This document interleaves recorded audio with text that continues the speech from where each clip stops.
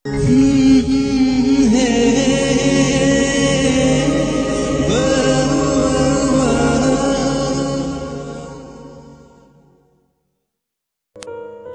আলাইকুম ফ্রেন্ডস, কেমন আছেন সবাই? আশা করছি ভালো আছেন। আজ আমি আপনাদের জন্য ভালোবাসি তাই এই গল্পের ছয় নম্বর পর্বটি নিয়ে হাজির হয়ে গেলাম। আশা করছি আপনাদের ভালো লাগবে।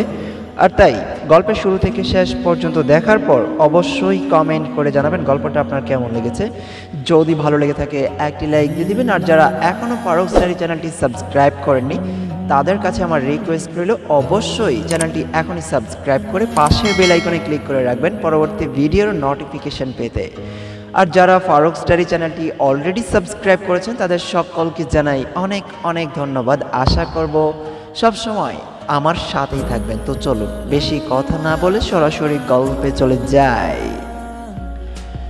বাড়ির পিছনের বাগানটা দাঁড়িয়ে আছি আমি। ভর দুপুরে রোদের তীব্রতা চারোদিকে। এমন সময় নিশ্চয়ই কেউ বাগানে দাঁড়িয়ে থাকে না? কিন্তু আমি আছি। এই মুহূর্তে বাড়ির ভেতরে থাকার থেকে এই বাগানে দাঁড়িয়ে থাকাটা বেশি শান্তিময় মনে হচ্ছে আমার। সায়ন ভাইয়ারা এসেছেন আজ, ড্রয়িং রুমে সবাই মিলে কথা বলছে। আমি সেখানে যাইনি কারণ তারা সবাই কি নিয়ে কথা বলছে সেটা আমি জানি। ওখানে সবার সাথে বসে থাকাটা আমার পক্ষে সম্ভব ছিল না। বাড়িতে থাকতেই ইচ্ছে করছে না আমার। খালামণিরা আসবে বলে ভার্সিটিও যাওয়া হয়নি আজ। সবাই যে আজ খুব খুশি সেটা তাদের মুখ দেখেই বোঝা যাচ্ছে। কিন্তু সায়ন ভাইয়া কি খুশি কিনা সেটা ওনার জন্য মুখ দেখে বুঝতে ব্যর্থ হয়েছে আমি। খুশি হবেন হয়তো, ওনার তো খুশি না হওয়ার কোনো কারণ নেই। রোদের তাপে বাগানের ব্যাঞ্চটাও গরম হয়ে আছে। হাত দিয়ে ধরলেন মনে হয় হাতটা পড়ে যাবে। বাগানটা ঘুরে ঘুরে দেখার ইচ্ছেও নেই, কারণ বাগানের প্রতিটি কোনাও দেখা হয়ে গেছে আমার। বাগানের সবগুলো গাছের মধ্যে একটা গাছকে আমি সবচেয়ে বেশি যত্ন করি, কারণ সেই গাছটা আমাকে আমার জন্মদিনের উপহার হিসেবে দিয়েছিলেন সায়ন ভাইয়া। তখনও উনি আমার সাথে স্বাভাবিকই ছিলেন। আমার প্রত্যেকটা জন্মদিনে প্রথম উইশটা আমি সায়ন ভাইয়ের কাছ থেকে পেতাম, কিন্তু ওনাকে আমি ভালোবাসি এই কথাটা জানার পর থেকেই উনি কেমন হয়ে গেছেন। সবসময় আমার সাথে খারাপ ব্যবহার করেন, এক কথায় উনি সহ্যই করতে পারেন না আমায়। এখন ভাবি, কেন যে ওনাকে ভালোবাসার কথা বলতে গেলাম আমি? চিন্তা করায় এতই বিভোর ছিলাম যে সায়ন ভাইয়া কখন আমার পাশে এসে দাঁড়িয়েছে আমি বুঝতে পারিনি। হঠাৎ মনে হলো আমার পাশে এসে দাঁড়িয়ে আছে কেউ। আমি ঘুরতেই দেখতে পেলাম পকেটে হাত দিয়ে দাঁড়িয়ে সামনের দিকে তাকিয়ে আছেন সায়ন ভাইয়া। আমি আজ আর ওনার মুখের দিকে তাকালাম না। ওনার প্রতি আর কোনো ফিলিংস কাজ করতে দেয়া চলবে না আমার। ভাবছি বাগান থেকে চলে যাব এখন কিন্তু। এইভাবে কোনো কথা না বলে চলে যাওয়াটা হয়তো ঠিক হবে না, তাই সামনের দিকে তাকিয়ে বললাম, কথা বলা শেষ সবার? সায়ন বলল, না, বড়রা এখনও কথা বলছে। মাইশা বলল, ও, তাহলে আপনি চলে এলেন যে? সায়ন বলল, বড়দের মাঝে বসে থাকাটা অত্যন্ত বিরক্তিকর। মাইশা বলল, আমার থেকেও বেশি বিরক্তিকর কিছু আপনার আছে নাকি লাইফে? আমার কথার কোনো জবাব দিলেন না সায়ন ভাইয়া। আমিও যে ওনার জবাবের আশায় বসে আছি এমনটা নয়। উনি হয়তো আমার দিকে মুখ করে দাঁড়ালেন এবার, আমার দৃষ্টি এখনও সামনের দিকে। যদিও সামনে তাকিয়ে থাকার মতো কোনো কিছুই নেই, কিন্তু আমি তাকিয়ে আছি। মাঝে মাঝে কারণ ছাড়াই অনেক কাজ করতে হয় আমাদের। হঠাৎ করেই সায়ন ভাইয়া বলে উঠলেন, তুই অনেক বদলে গেছিস, মাইশা। ওনার কথায় অবাক হলাম আমি। একটু অবাক নয়, একেবারে অনেকটাই অবাক হয়েছি। আমি বদলে গেছি না, আগের মতোই আছি সেটা উনি খেয়াল করেছেন বুঝি? তার মানে আমার দিকেও নজর আছে ওনার? মাইশা বলল, আমি বদলে গেছি? সায়ন বলল হ্যাঁ অনেক বদলে গেছিস। মাইশা বলল, আমার কাছে তো মনে হচ্ছে না। সায়ন বলল, যে পাল্টে যায়, তার নিজের কাছে মনে হয় না সে পাল্টে গেছে। সায়নের কথা শুনে মাইশা বলল আচ্ছা মানলাম আমি পাল্টে গেছি, কিন্তু সেটা আপনি বুঝলেন কি করে? সায়ন বলল, বোঝার অনেক কারণ আছে। আমার অ্যাক্সিডেন্ট হওয়ার পর একদিন রাতে শুধু আমার ঘরে এসেছিলি তুই। তারপর প্রায় এক সপ্তাহের মতো ছিলি আমাদের বাসায়। একদিনও আসিসনি আমার ঘরে। মাইশা বলল, আমি আপনার ঘরে গেলে আপনি সিন ক্রিয়েট করবেন ভেবে জানি আর আপনিও আমার জন্য আশা করে বসেছিলেন না নিশ্চয়ই? আমার কথা একটা দীর্ঘশ্বাস ফেললেন সায়ন ভাইয়া। ওনার দীর্ঘশ্বাসের কারণটা বুঝতে পারছি না। আমি কতক্ষণ সময় চুপ থেকে আবার বলে উঠলেন, আগেও তো তোর জন্য আশা করে বসে থাকতাম না, কিন্তু তখন তো ঠিকই আসতিস। মাইশা বলল, পরিস্থিতি সবসময় এক থাকে না। সায়ন বলল, এখন পরিস্থিতির দোষ দিচ্ছিস? খুব না বলতি? আমায় ভালোবাসিস? এই তোর ভালোবাসা? মাইশা বলল, সেদিন আমি আপনাকে কি বলেছিলাম, আপনি বোধহয় ভুলে গেছেন। কিন্তু আমি ভুলিনি। বলেছিলাম আপনার প্রতি ভালোবাসাটা আর কোনো দিনও প্রকাশ করব না আমি। আর আজ হঠাৎ এসব কথা আসছে কেন? আপনি নতুন জীবন শুরু করতে যাচ্ছেন, আশা করি সুখী হবেন। সায়ন ভাইয়ের সাথে কথা বলতে ইচ্ছে করছে না মোটেও। ওনার এমন শান্ত ব্যবহার মেনে নিতে পারছি না আমি। মনে হচ্ছে ওনার এমন ব্যবহারের মাধ্যমে উনি আমার মনের ক্ষতগুলো বাড়িয়ে দিচ্ছেন ক্রমাগত। আজকে হঠাৎ কি হলো ওনার? এই বর দুপুরে বাগানে এসেছেন আমার সাথে কথা বলতে? আর কিছু না বলে উল্টো থেকে ঘুরে পা বাড়ালাম বাগান থেকে চলে যাওয়ার উদ্দেশ্যে, কিন্তু সফল হতে পারলাম না আমি। একটু এগিয়ে আসতেই হাতের টান পড়ল আমার, পিছন থেকে আমার হাত টেনে ধরলেন সায়ন ভাইয়া। সায়ন ভাইয়ার এই কাজে আরেক দফা অবাক হলাম আমি। হাতের চিমটি কাটা ছাড়াই বুঝতে পারছি, এটা কোনো স্বপ্ন নয়, একদম সত্যি। ওনার এমন বিহেভিয়ারে আমি খুশি হব না, রাগ করব, বুঝে উঠতে পারছি না। আগে হলে হয়তো খুশিতে আত্মহারা হয়ে যেতাম আমি, কিন্তু এখন তো আমার রেগে যাওয়া উচিত। দুই দিন পর উনি সারা জীবনের জন্য আপুর হাতে ধরবেন, আর এখন আমার হাত ধরে টানাটানি করছেন, সেই হিসেবে আমার এখন অবশ্যই রাগ করা উচিত, কিন্তু আমি চাইলেও যে রেগে যেতে পারছি না, আবার খুশিও হতে পারছি না। সায়ন ভাই আমার দিকে কেমন অসহায়ের মতো তাকিয়ে আছেন। আমার হাত ধরে রেখে উনি বললেন সেদিন শুধু কথাটাই বলিসনি আরও একটা কথা বলেছিলি, সেটা আমার মনে আছে। মাইশা বলল, কি কথা? সায়ন বলল, যে ভালোবাসা সামান্য ইগোর কাছে হেরে যায়, সেটা ভালোবাসা অন্তত নয়। তুই এখন ইগো দেখিয়ে দূরে সরে যাচ্ছিস, তার মানে কি? তোরটাও ভালোবাসা ছিল না? সায়ন ভাইয়া থেকে হাত ছাড়িয়ে ওনার মুখোমুখি দাঁড়ালাম আমি। ওনার চোখের দিকে তাকিয়ে বললাম, এটা ইগো নয় স্যাক্রিফাইস সায়ন বলল স্যাক্রিফাইস মাইশা বলল হ্যাঁ স্যাক্রিফাইস আমি না চাইলেও এই স্যাক্রিফাইসটা করতে হবে আমায়। কেন জানেন? কারণ আমার ভালোবাসাটা ছিল একতরফা। আপনি তো আমায় কোনোদিনও ভালোবাসেননি। আর বাসবেনও না। আর এখন আপনি আপু দুজনেই বিয়েতে রাজি। সেই হিসেবে আমি আপনাদের মধ্যে একজন তৃতীয় ব্যক্তি মাত্র। আর স্যাক্রিফাইস শব্দটা বোধহয় তৃতীয় ব্যক্তিদের জন্যই তৈরি হয়েছে। তারা না চাইলেও তাদের সবসময় স্যাক্রিফাইস করতেই হয়। আশা করছি বুঝতে পেরেছেন। আমি আবারও চলে আসার জন্য উদ্যত হতেই সায়ন ভাইয়া বলে উঠলেন, সত্যি সত্যিই কি স্যাক্রিফাইস নাকি ভালোবাসার জন্য নতুন কাউকে পেয়ে গেছিস? মাইশা বলল মানে? সায়ন বলল, তুই সত্যি মানেটা বুঝতে পারছিস না? মাইশা বলল, না, বুঝতে পারছি না। ভালোবাসা কি বাজারের কোনো পণ্য যে এক এক সময় এক একজনকে দিয়ে দিব? নাকি আমার ভালোবাসাটাকে আপনার টুনকু মনে হয়? কোনটা? সায়ন বলল, সেটা তো তুই নিজেই ভালো বলতে পারবি। আমাকে আর কোনো কথা বলার সুযোগ না দিয়ে উনি বাগান থেকে চলে গেলেন। আর আমি এখনও ওখানেই দাঁড়িয়ে ওনার কথাগুলোর মানে বুঝতে চেষ্টা করছি। আমি নতুন পাও- কাউকে পেয়ে গেছি মানে? রাত দশটা বেজে গেছে। রাতের খাওয়া দাওয়া শেষ করে নিজের ঘরে এসে পড়েছি আমি। সায়ন ভাইয়ারা সন্ধ্যায় চলে গেছে। দুপুরের পর আর নিজেদের ঘর থেকে বের হয়নি। ঘরে বসে সারা দিন ধরে শুধু সায়ন ভাইয়ার বলা কথার মানেটা বেরিয়ে খুঁজে বেরিয়েছি, কিন্তু বরাবরই ব্যর্থ হয়েছি আমি। বিছানা চুপচাপ চোখ বন্ধ করে শুয়ে আছি। এত তাড়াতাড়ি ঘুম আসবে না আমার, কিন্তু চোখ দুটো খোলা রাখতেও যেন এক জাগ আলসেমি ঘিরে ধরেছে আমায়। এই মুহূর্তে চোখ খোলাটা আমার কাছে পৃথিবীর সবচেয়ে কঠিন কাজ বলে মনে হচ্ছে। এভাবে শুয়ে থাকতেও ভালো লাগছে না আর।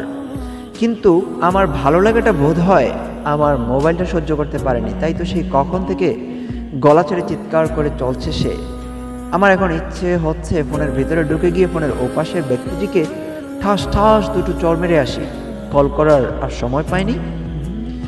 বিছানা থেকে উঠে গিয়ে ফোনটা রিসিভ করার বিন্দুমাত্র আগ্রহ নেই আমার মাঝে, যত ইচ্ছা বাঁচতে থাকুক। আমার যখন মন চাইবে, আমি তখনই রিসিভ করব, ততক্ষণ না হয় ফোনের রিংটোনটা ব্যাকগ্রাউন্ড মিউজিকের মতো কাজ করুক। আমি চোখ বুজে শুয়ে আছি, চারপাশে মিউজিক বাজছে, একদম বাংলার নাটকের মতো। গুনে গুনে পাক্কা এগারো বার রিং হওয়ার পর ফোনটা রিসিভ করলাম আমি। কানে নিতেই ভেসে আসলো সারার কণ্ঠ। ফোন কি? মঙ্গল গ্রহে রেখে ফেলে ফেলেছিলি নাকি? আয়সা বলল, সেটা তোর না জানলেও চলবে। কিসের জন্য ফোন করেছিস সেটা বল, ফটাফট ফোন রাখ। ব্যস্ত আছি আমি। সারা বলল, কি নিয়ে এত ব্যস্ত তুই? যে আমার ফোনটা এতক্ষণ ধরতে পারলি না? মাইশা বলল, শুয়ে শুয়ে চোখে ঘুম ডেকে আনতে ব্যস্ত ছিলাম। এ নিয়ে আর একটা কথা বলবি না। ফোন কেন করেছিস সেটা বলবি এক্ষুনি। ফার্স্ট, আমার কথা সে সারা সর্বাঙ্গ রাগে রিরি করেছে ফোনে ওপাশ থেকেই বুঝতে পারছি আমি। রেগে যাওয়াটাই স্বাভাবিক। এগারোবার রিং হওয়ার পর ফোন ধরে কেউ এমন উত্তর দিলে অবশ্যই রাগ উঠে যাবে। সে অনুযায়ী সারাও রেগে গেছে, কিন্তু তাতে আমার কি? আমার সাথে রাগ দেখিয়ে কোনো লাভ হবে সেটা সারা নিজেও জানে। কারণ সে যখনই আমার উপর রাগ দেখায়, আমি ডোন্ট কেয়ার ভাব নিয়ে দাঁড়িয়ে থাকি, যেন তার রাগ আর না করায়, কিছু যায় আসে না আমার। তাই শেষ পর্যন্ত রাগটা আমার উপর পুরোপুরি জারা হয়ে ওঠে না তার। প্রতিদিনের মতো এবারে নিজের রাগটা হজম করে নিয়ে বলল, দোস্ত, শোন না। মাইশা বলল, শোনার জন্য তো ফোনটা কানে ধরে আছি। সারা বলল, দোস্ত, আমি না অনেক এক্সাইটেড মাইশা বলল, তো? সারা বলল এ মা তুই জিজ্ঞাসা করবি না আমি কি নিয়ে এক্সাইটেড মাইশা বলল, আমি জিজ্ঞেস না করলে যে তুই বলবি, সেটা আমি জানি। সারা বলল, অবশ্যই বলব, বলার জন্য তো ফোন করছি। মাইশা বলল, তো বলে ফেল। সারা বলল, আজকে তো তুই ভার্সিটিতে আসিসনি। ভার্সিটি থেকে কক্সবাজারের একটা ট্যুরের আয়োজন করা হয়েছে, সেই জন্যই তো আমি এত এক্সাইটেড মাইশা বলল, ও, ভালো। সারা বলল, শুধু ভালো? তুই খুশি হসনি? মাইশা বলল, হুম, হয়েছি তো। সারা বলল, তোর কথা শুনে তো মনে হচ্ছে না। মাইশা বলল, আর মনে হতেও হবে না। কাল ভার্সিটিতে দেখা হচ্ছে, এখন রাখছি। সারাকে কিছু বলতে না দিয়ে ফোন কেটে দিলাম আমি। সত্যি তো কক্সবাজার যাওয়ার কথা শুনে একটু খুশি হয়নি আমি। কারণ আমার মধ্যে খুশি নামক অনুভূতিটা কি মরে গেল নাকি?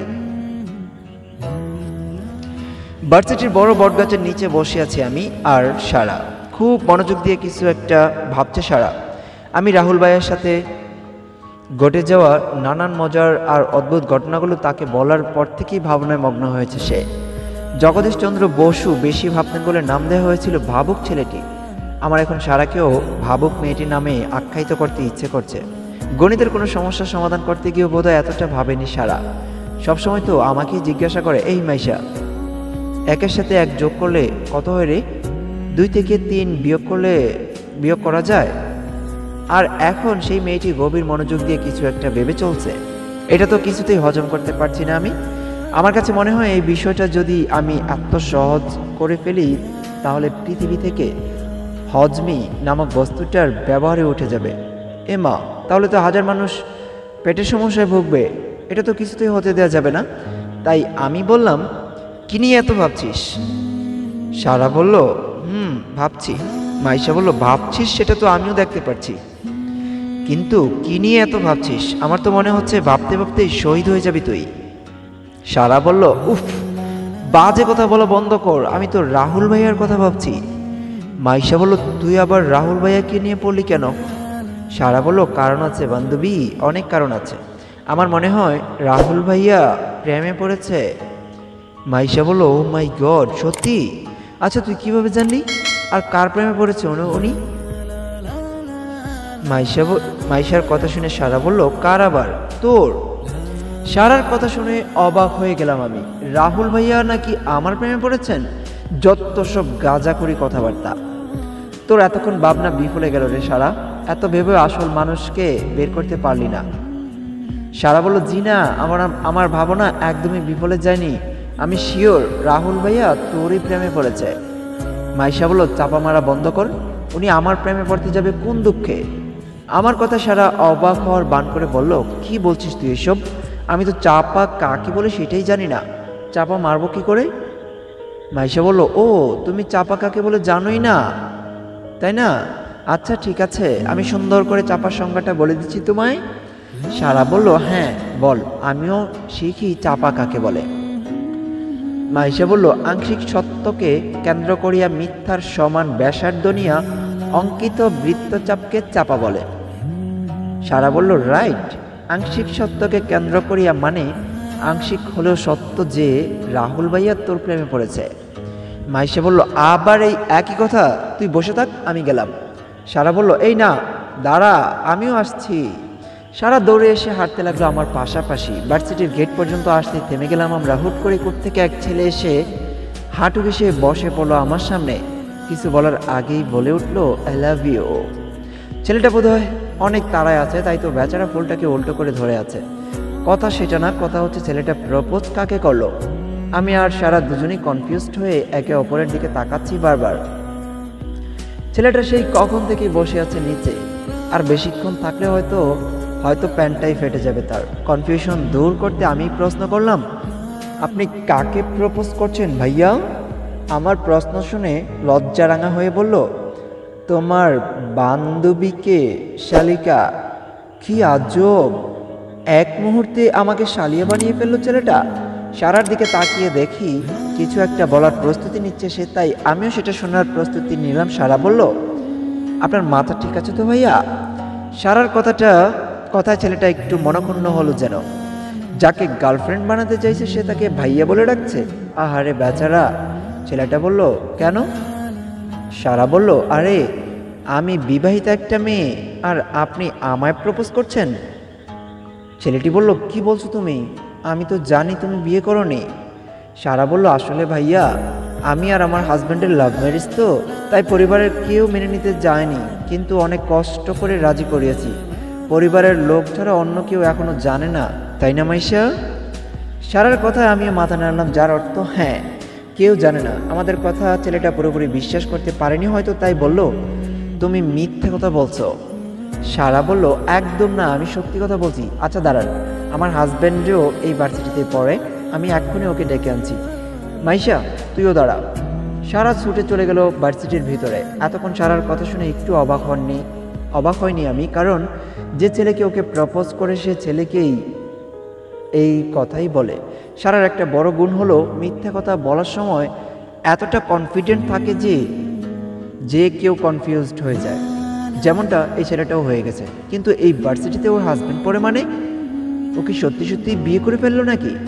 আমি এবার ছেলেটাকে ভালো করে লক্ষ্য করলাম। চেহারা, উচ্চতা সব মিলিয়ে মার্শাল্লাহ পুরোই বাংলা সিনেমার দিলদারের মতো। একটু পর আমাদের কাছে এলো সারা। সারার সাথে আছে রাহুল ভাইয়া। আমার মাথায় কিছুই ঢুকছে না। রাহুল ভাইয়া, সারার হাজব্যান্ড সারা এসে বলল, এই যে ভাইয়া, ইনি আমার হাজব্যান্ড কি গো, বলো না? সারার ইশারায় রাহুল ভাইয়া জটপট উত্তর দিল হ্যাঁ হ্যাঁ আমি ওর হাজব্যান্ড তোমার সাহস তো কম না? আমার ওয়াইফকে প্রপোজ করো। রাহুল ভাইয়া উত্তরে মুখ কালো হয়ে গেল ছেলেটার। বাংলা সিনেমায় যেমন নায়ক নায়িকাকে কষ্ট পেলে মনের ভিতরে ঘূর্ণিঝড় শুরু হয়, ইয়া বড় বড় ডেউ আছড়ে পড়ে সাগরের বুকে। আমার মনে হয় ছেলেটার মনেও সেই রকমই চলছে। কিন্তু সিনেমায় ঘূর্ণিঝড়টা দেখা গেলেও ছেলেটার ক্ষেত্রে তা দৃশ্যমান নয়। রাহুল ভাইয়াকে সরি বলে চলে গেল ছেলেটা। এবার ওদের দুজনের দিকে প্রশ্নবিদ্ধ চোখে তাকালাম আমি। কিন্তু সারা আমাকে সম্পূর্ণ অপেক্ষা করে রাহুল ভাইয়াকে বলল থ্যাংক ইউ সো মাচ ভাইয়া। আপনি নিজেও জানেন না কত বড় উপকার করলেন আমার। রাহুল বলল ইটস ওকে শালিকা। তোমাকে হেল্প করতে পেরে আমি ধন্য। রাহুল ভাইয়ার কথা শুনে অবাক হয়ে গেলাম আমি। আজকে কি সবাইকে শালিকা রোগে ধরলো নাকি? তখন ওই ছেলেটা আমায় শালিকা বলল, আর এখন রাহুল ভাইয়া সারাকে শালিকা বলছে। যখনই বুঝতে পারলাম ওরা এতক্ষণ নাটক করছিল তখন, আর হাসি আটকে রাখতে পারলাম না আমি। হাসি আটকে রাখলে যে কোনো মুহূর্তে দম বন্ধ হয়ে মরে যাব কিন্তু, এত তাড়াতাড়ি মরার কোনো স্বপ্ন নেই আমার। তাই জোরে জোরে হেসে দিলাম আমি। আমার হাসি থামলো রাহুল ভাইয়ার কথা শুনে। যখন উনি বললেন এভাবে হেসো না গো, বুকে ব্যথা লাগে আমার। এইটুকু বলেই সারাকে হাই ফাইভ করে চলে গেলেন উনি। আমি আবুলের মতো দাঁড়িয়ে আছি আর ভাবছি, বউ সাজালেন সারাকে, আর বুকে ব্যথা লাগে আমি হাসলে, কি অদ্ভুত, তো ফ্রেন্ডস আজকের গল্পের পর্ব এতটুকু ছিল, আশা করছি আপনাদের ভালো লেগেছে। যদি ভালো লেগে থাকে, অবশ্যই কমেন্ট করে জানাবেন, আর একটি লাইক দিতে ভুলবেন না। আর আপনি যদি আমাদের চ্যানেলের নতুন দর্শক হয়ে থাকেন, তাহলে অবশ্যই চ্যানেলটি সাবস্ক্রাইব করে সবসময় আমাদের সাথেই থাকবেন। আর যারা এখনও ফারুকস ডায়েরি চ্যানেলটি সাবস্ক্রাইব করেনি তাদের কাছে আমার রিকোয়েস্ট রইল, অবশ্যই চ্যানেলটি সাবস্ক্রাইব করে সবসময় আমাদের সাথে থাকবেন। আর পরবর্তী গল্প পাওয়া পর্যন্ত অনেক বেশি ভালো থাকবেন, সুস্থ থাকবেন, হাসি আর আনন্দের মাঝেই থাকবেন। সেই কামনায় আল্লাহ হাফিজ, বাবাই, টাটা।